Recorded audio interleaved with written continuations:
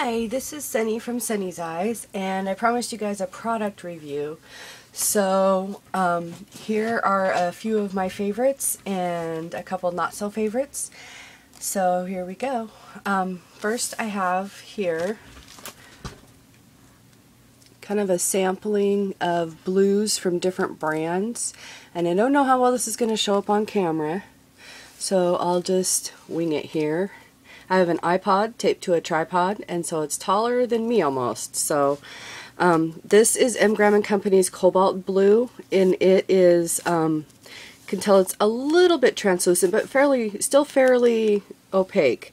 Um, this is Liquitex Basics and Ultramarine Blue, and you can tell it's a little bit transparent too. Um, let's turn this this is Blick Studio Acrylics, and you can tell it is actually, you know, fairly opaque. Um, and it's a good paint. This is Art Advantage. It is Phthalo green. I know it's not in the blues, but this is the only tube I have for a very good reason. Um, and this is Golden. see if you can get it here. This is Golden Ultramarine Blue, and it is fairly opaque, and it is um, a heavy body paint. Um, the others are a little bit softer body. Um, I will tell you, my favorite is Golden. I like that it's a heavier body and um, I like the consistency. It's really nice to work with. It is expensive. Um, I kind of did some price comparisons here um, so you can get a little bit of an idea of cost. Um, the M. Graham & Company, when I bought it at Craft Warehouse, which pretty much always has them on sale, um, is listed as $14.49, but their sale price is $8.69. So still um, a fairly good value. If you had to buy them full price, of course, it would be um, a little bit a little bit more spendy, but Craft Warehouse almost always has them on sale. They have their sale price on them all the time. Um, this is Liquitex Basics. They regularly are around $4.99 to $5.99. Um, they Michaels um, is where I generally get them, and they often have sales or 40% off coupons to make them even cheaper. This is Blick Studio Acrylic. It is listed as 720. The sale is 359, and this is the size tubes for all of them. Um, the three studio grades. Um, Blick is really good paint. I really like it. Um, it would be my second choice to Golden um, that I've tried so far. I have not tried the Liquitex professional grade, so I will give you that. Um, I have tried the M. Graham & Company, which is um, not considered as, this is the M. Graham & Company. Um, same size tube as this, although this one's almost gone, but um, I really like the M. Graham & Company. I also really, really like their watercolors. They are really nice watercolors. They're very vibrant. Um, I think that most people consider this as not as high of a quality as, say, Golden or Liquitex um, professional grade, but I really like them, and they are a good second to um, Golden. Um, the Art Advantage, $4.49 for this tube. You get what you pay for with this one. It I got it on clearance for $3.39. It basically pours out of the tube. It's just it's really really runny, and it is um, way more translucent for you know these colors. And you know this is a phthalo green. Um, this is phthalo blue. This one and this one are ultramarine, and this one is cobalt. So they're a little bit different colors, but they those particular colors generally have um, kind of the same amount of translucency um, as a blue. I mean, like some yellows and reds and um, are much more translucent. Um, so I tried to give you kind of an idea of colors that would have, you know, normally have similar consistencies and translucency. Um, I could never, I could never recommend the Art Advantage for anything. I really do not like it. I mean, I guess I guess it could be better than craft paints because it does have a little bit of that sheen that um, that satin kind of finish that acrylics do. So you wouldn't have the chalkiness of a craft paint, but it's I really don't like it. and golden is golden is about my favorite, and that one I would recommend, but it is expensive and most of us can't really afford it, which is why I have a lot of Liquitex Basics and Blick Studio Acrylics. And I love the Blick Studio Acrylics. If you're going to use a student grade, I highly recommend this. Um, you do have to deal with shipping, but if you buy a bunch at once, it doesn't hurt quite so bad. Um, but, so these two are my favorite. I can recommend these for the studio grade. Um, and either Golden or M. Graham and Company I could recommend if you want to pay a little bit more. Um, the cobalt hues are usually more expensive um, because they use cobalt, which is um, not quite so readily available and a little bit more expensive of a, two, of a um, pigment. Uh, cadmiums are that way as well. So you kind of get an idea of the acrylics. Um, like I said, Blick's, Blick um, Dick Blick online uh, supplier um, generally always has their Blick acrylics uh, listed as a sale price. I will show you. This is their catalog. Well, this was their catalog. I usually get it in the mail. You can also go online. Um, and their Blick, Blick acrylics are almost always have their sale prices alongside their list prices. And they're always almost always on sale. I mean, I don't know why they even call it a sale because it's always on sale pretty much, but it's amazing. And golden acrylics, they, all of these, they usually have, you save, you know, a certain amount um, from a list price to their sale price. So if you do want to get something more expensive, um, you can order online. And if you're going to order a few things, I think their minimum shipping is around $8.95. So I mean, you know, if you buy several tubes of paint, you're still going to save over what you would pay for it at the at the art store, especially because golden is expensive and is rarely ever on sale. You can use a coupon, but they're rarely ever just on sale that I've seen at either Craft Warehouse or Michael's or um, actually I don't think Craft Warehouse even carries golden, but Michael's and Joann's um, they're rarely ever on sale. So if you want to try those out, you know, go through Dick Blick or Jerry's Artorama. Sometimes has that stuff on sale too. Um, so moving on, let me put away my tubes of acrylic here. Um, I was looking for the Dr. Martens, I think it is, um, India inks that come in a thing like this and they did not have any in that were just the colors. They only had some metallics and I really wanted just plain colors. So I got these at my local art store called the art department and um, they are an acrylic ink and they have really good um, really good consistency. I really like them. I was gonna see if I could find the other one that I got. I must not have um, and they're white. I noticed that um, when my sister used it in a thick application, it had a tendency to crack slightly. So I don't know how that's gonna but work out for me. I haven't used them that much yet, but that's the black there. It's the Daler-Rowney FW acrylic artist acrylic artist ink. Water resistant, no clogging, pigmented.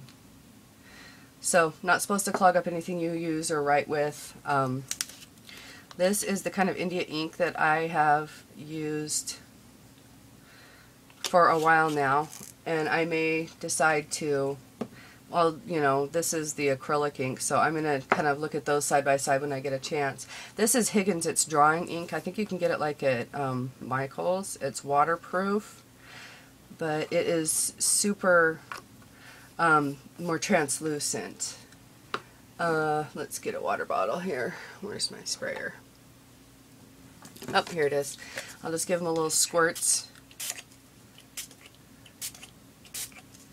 so you can kind of see how they they blend out and that green you can tell is really really transparent and I haven't used this one very much um, but I do love the um, FW artist ink acrylic artist ink. And the India that I use, um, I do like. It's nice and black and it's thick and it kind of, when you have a really thick application, it dries just a little bit shiny.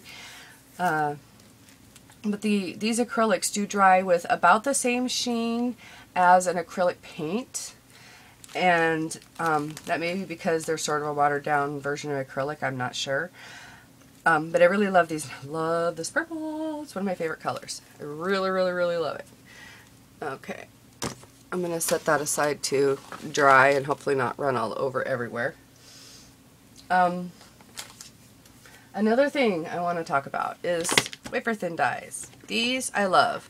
These are like the Spellbinders and um, the ones, you know, the really thin flat ones like that.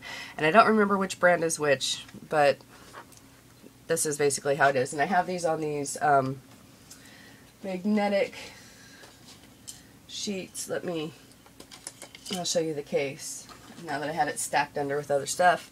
Um, comes in a case like this.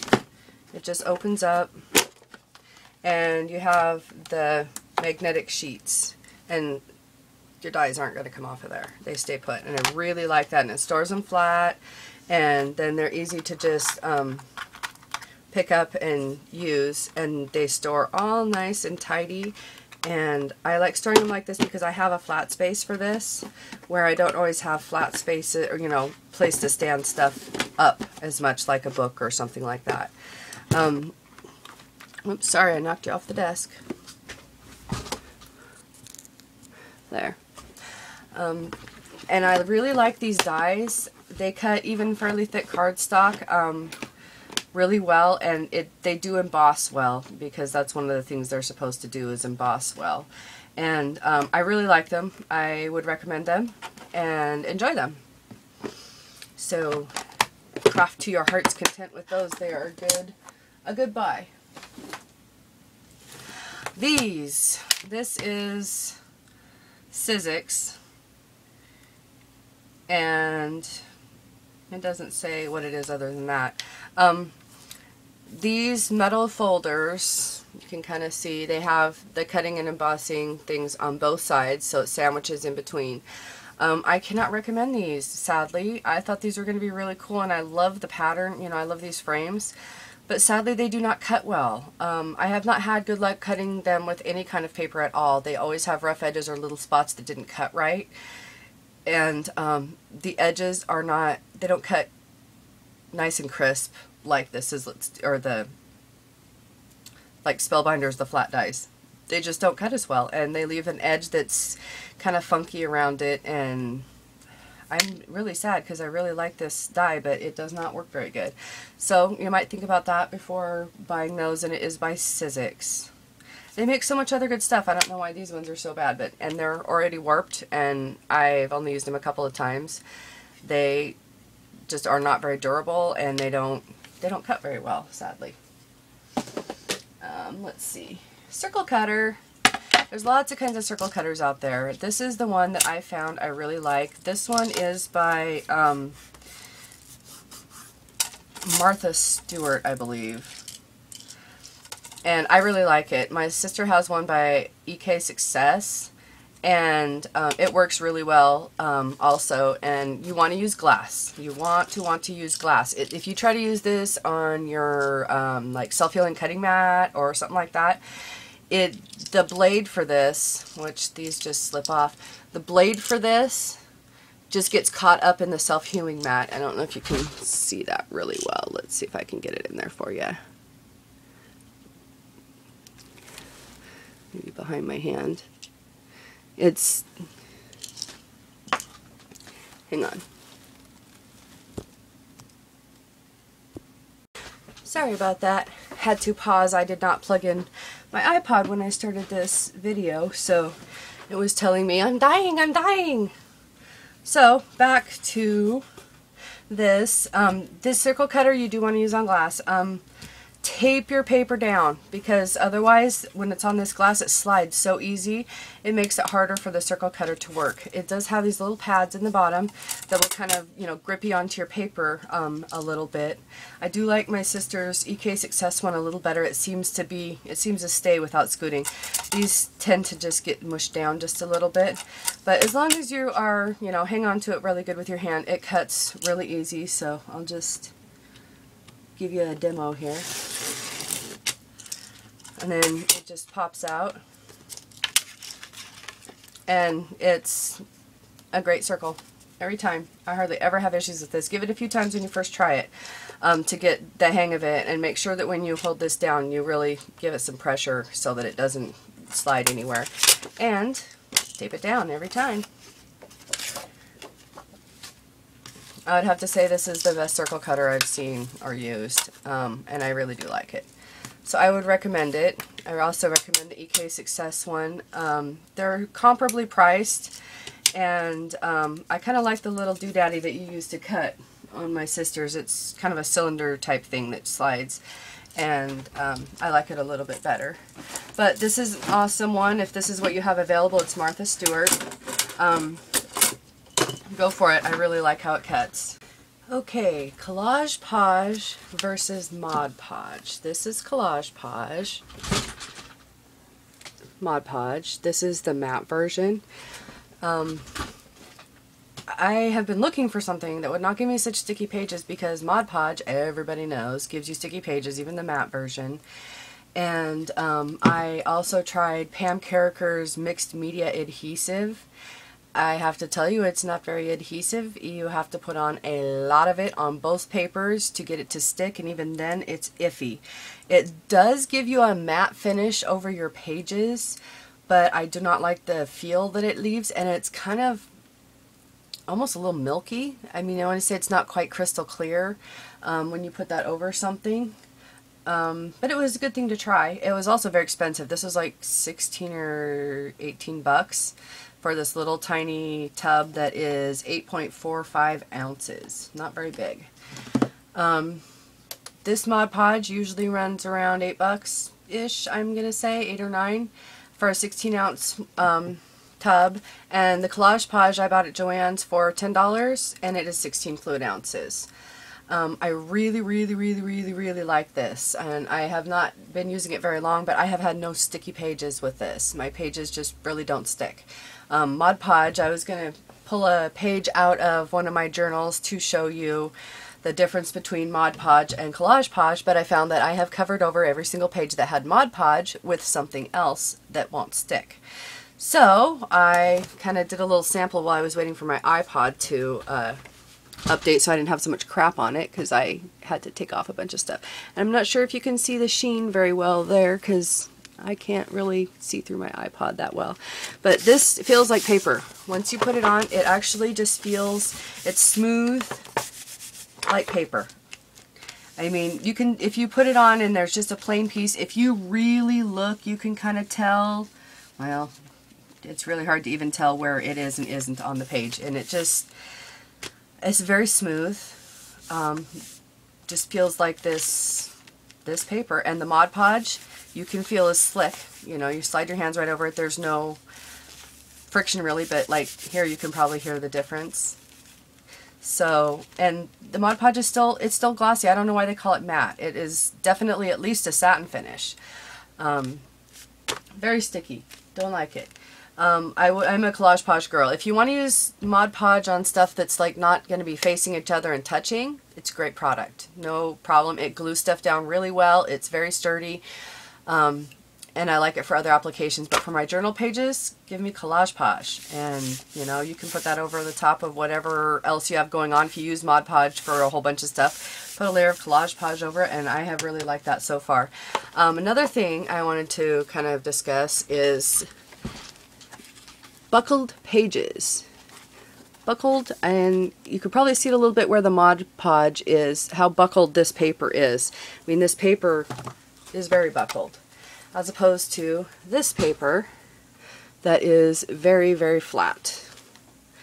This is the difference between the Strathmore Visual Journal. It looks like this. It has a cover that comes on it that says Visual Journal.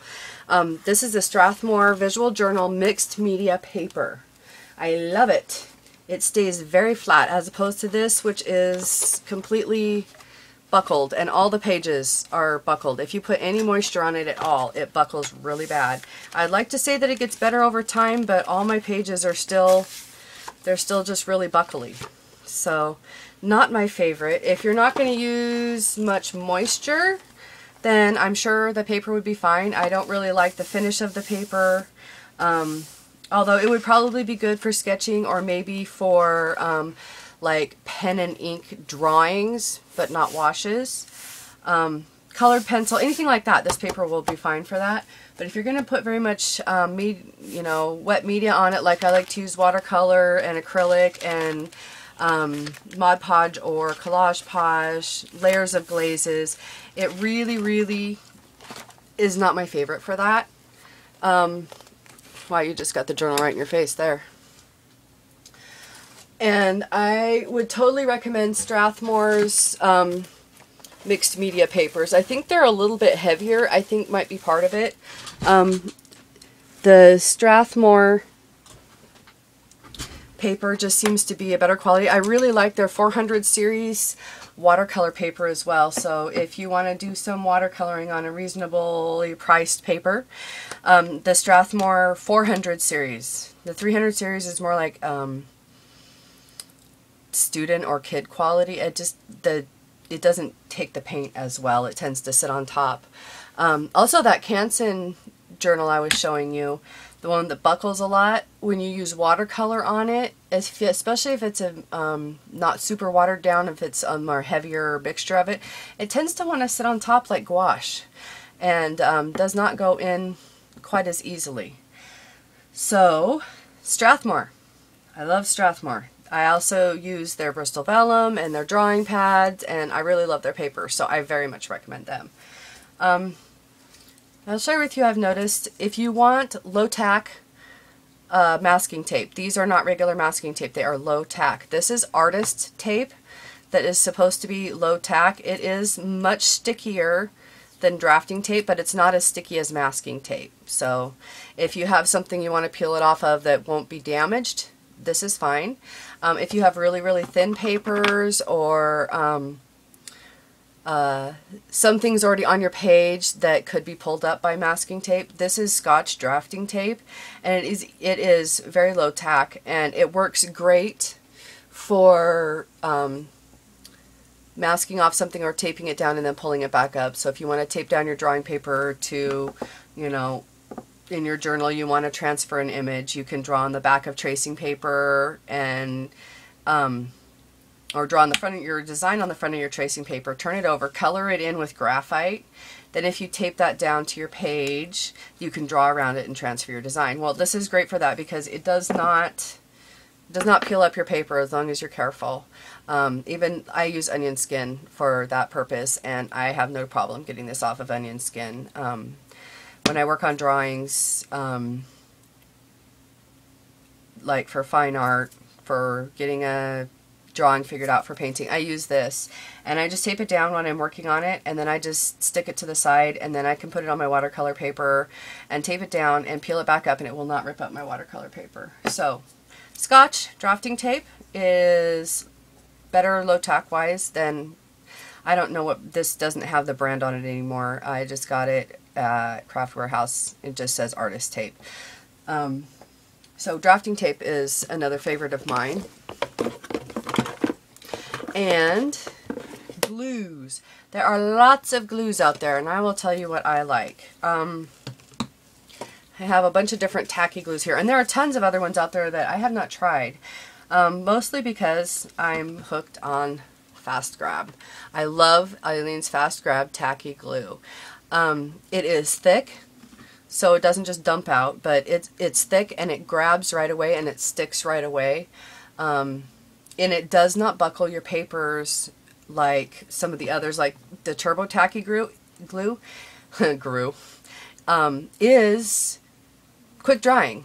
Unfortunately, on anything thinner than a medium weight cardstock, it does buckle. Even on cardstock, it can buckle. Um, I had a really hard time using that on a project I was doing, but it does dry really quick. I will give that. Original Tacky Glue is great. It's a good glue. It's a good all-around glue, um, especially if you want to water it down a little bit to use it for, you know, a bigger project or something, then that works really good. Something that you needed to stay wet just a little bit longer. Um, if you're gluing a whole um, piece of paper to go into a journal, um, or to end papers for a book, things like that. Um, this works great because it doesn't dry as quick and you can water it down a little bit. Um, the clear gel tacky glue, I just, I find same problem. It just buckles and it's just, I don't really care for it at all, but it was given to me, so I tried it out. Um, my still, my fave, fast grab. So that gives you a little idea of what these paints will do. This one does not buckle paper as easily when you use it because it is a little bit thicker, um, but it does take a little bit longer to dry. If you use this to glue something down on your page, it you're going to have to let it dry just a little bit before you move on. And this one, you can move on pretty quick. So there's those. Oh, also, what I use for sticky pages, I've just found this and I love it, the Collage Podge. Um, and I have tried um, the Daravan Pam Carriker's Mixed Media Adhesive to um, seal my pages so they don't stick, and it works, but I don't like how it looks. It dulls everything. Um, the other thing that you can use is, um, this is Dorland's Wax Medium. Um, it's just a basically a cold wax, and it's it's very smooth. You know, it's kind of scoops right out. It's probably a little stiffer than margarine. Um, and I just spread on a little bit, just take some on my finger and I just kind of spread it around and then I let it dry for a couple of hours and then I just kind of buff it with a cloth and that brings it back to a satiny kind of finish. It's not shiny shiny, but it's a little bit satiny. Um, and it does help your pages not to stick. Um, so that's a good option for certain kinds of pages. If you are just going to want, if it's just paper that you've collaged down, um, Collage Podge seems to work really good. I haven't had any problem with sticky pages. Um, let's see. Gesso. Oh, this is the one everybody doesn't know what to do with. Gesso. I like this Blick Acrylic, um, Economy Acrylic Polymer. Um, I really like it. It comes with the flippy toppy. Oh, so does the Collage Podge. I love the flippy toppy thing. It's so much easier. You can just dump a little bit out. Um, this is fairly opaque. Um, not quite as opaque as I would like. Um, I have used a different um, brand that came in a tub and it was a little bit more opaque. But I really like the finish on this. It is not as smooth as Golden and much smoother than Liquitex. Liquitex Gesso has a lot of tooth. So if you want to use that to put under something, it's okay. If you're going to use it where it's going to, you're going to see it more, it's, it does, it's very toothy. It's rough and this is kind of in the middle. It has a little bit of tooth and it, um, I have had really good luck with it using paint over it um, that's sticking well and it sticks well to like magazine pages and stuff. I've had really good luck with this where some gessos, you know, I've been able to kind of just want to peel off of stuff. Um, let's see, what other kind of gessos have I used? Liquitex, Golden, and I forget the brand that I got, but it was available at Walmart and it was in like a big tub like this. And I think it was probably, I don't know, $12 or $15 or something for the tub. I'm not sure. Um, so it was cheap and it was thick. You could like scoop it out and put it on um, your page. And so it was, it was thicker and, and more opaque, which I liked. But I, this has been my favorite so far. I really, really do like it. Um, this is the does it say how many ounces it is on it? Uh, apparently not. Oh, wait. I think it says it's a quart. Oh, yeah, right here. It's a quart. So, 32 ounces, and it has lasted me a long time, and I like that I can just dump out some. And then if I want to use something to dip my brush in, I just put it in one of my little palette cups um, and use it that way. Is there anything else I can tell you about? I think that's about it. I think that's about it. I think that's all the opinions I have today. Lucky you. um, I hope this is a little bit helpful for some of you guys out there, for some newbies. Um, kind of give you an idea before you go and um, purchase something. Maybe, you, you know, it helps to have an opinion occasionally. Um, have fun trying some of this stuff out and I will see you later. Like, dislike, comment, whatever suits you. If you want to leave a snarky comment, I'm okay with that. like I said, it's entertaining. Bye.